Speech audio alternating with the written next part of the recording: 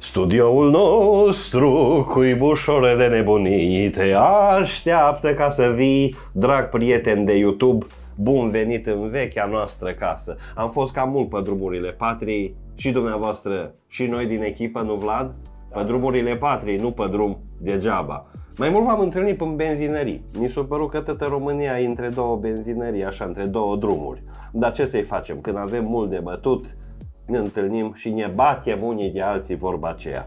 Cafea bună s-a primit pe buymeacoffee.com Nicu Bendea, de la Adi, de la Adriana, de la Gabriela, Diana, mulțumesc frumos, vă mulțumesc frumos pentru cafeluță, o închin în cinstea voastră.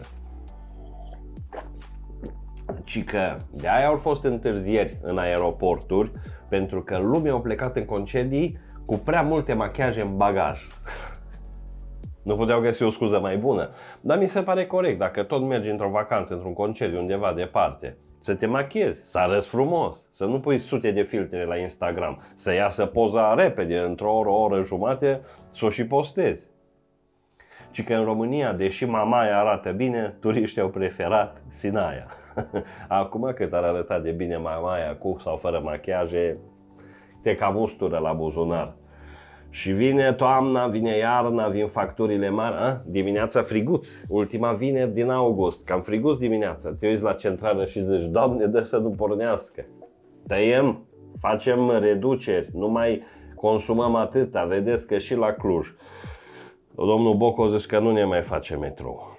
Bine că nu s-a apucat de el, acum s-a apucat de spart străzi, dar asta nu e ceva nou. În fine, nu ne mai face domnul Boc metrou, Uh, face bazin olimpic internațional undeva pe undial. Normal. Popovici ne dă idei. Deci nu mai avem metro, asta înseamnă că dacă vrem să ne dăm cu metro tot la București mergem sau noi de aici pe la Budapesta. Tot mai nervos și domnul Boc a băgat elevii de la U, fotbaliștii de la U în ședință. Știți că echipa U Cluj a promovat și primăria oferă bani pentru a merge echipa, dar nu prea merge și Emil Boc a băgat elevii în ședință, mi-l și imaginez așa un fel de Gigi Becali. Băi ăsta, băi Lincar, băi, cum să băi, odată afară antrenorul, apoi vorba lui soacră mea, când bordelul nu merge bine, ce schimb, patul sau curve, în fine, treaba lor. uh, uh, aglomerație pe Valea Oltului, ci că mergeau unii la nuntă, cu o nuntă, cu alaiul, cu tot și s-au făcut, cum zice filmul cel mare, s-au făcut rând, el așa traduce din maghiară, colon. Și ce-au făcut ăștia? Ori ieșit din autocare, ce și au început să cânte și au încins o horă între mașini. La final mireasa a fost furată de un motociclist, nu se știe unde a ajuns. Uh, darul de nuntă s-a strâns cu șapca, cu pălăria de pe la mașini. O nouă, un nou trend în nunți, că și așa nu mai știu ce să inventeze wedding plannery.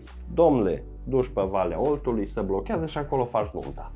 E mai greu cu tortul miresii, că până ajunge tortul miresii, dar bătaie, știți că nu-i nuntă fără bătaie. Bătaie și pentru trafic și pentru nuntă. Deci, uitați cum regândim nunțile, regândim, dar mâine e nunta anului, ce zic eu nunta anului, nunta mileniului.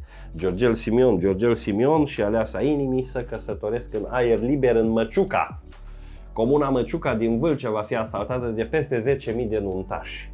Vlade, acolo Știi că la o nuntă de 500 de persoane Mirele nu prea cunoaște trei sferturi din invitați da pe la 10.000.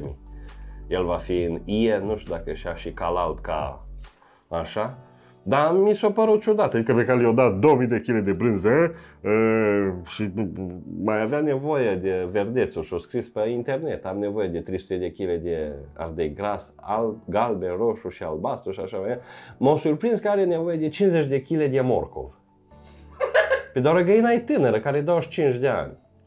Nu? Nu trebuie atâta morcov. Georgică, ce dracu, o să îngălbenească invitații. Antoldu de Măciuca. Dacă ai și Marăciuca. Iar Bianca Drăgușanu, că tot mă întrebai, Bianca Drăgușanu a găsit într-un mall o plasă cu 21.000 de euro. Bineînțeles că a alertat poliția. S-a plecat? Da. Pentru ei. Nu, că era pe Teșghea, dar tot s-a plecat.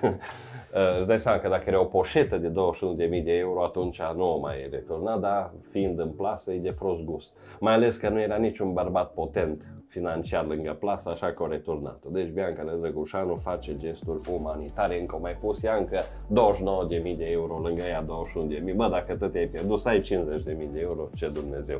Cafea pe Buy Me a Coffee se poate dona în continuare dacă vă plăcut ce am zis, dacă nu, tot pe site-ul ăla donați. Weekend plăcut și ne vedem cu bine în septembrie, pe 3 septembrie, un pic înainte de începerea școlii. Hai că ce a fost frumos a trecut. Ne băgăm în casă, că ne pasă. În casă la noi. Zi faină!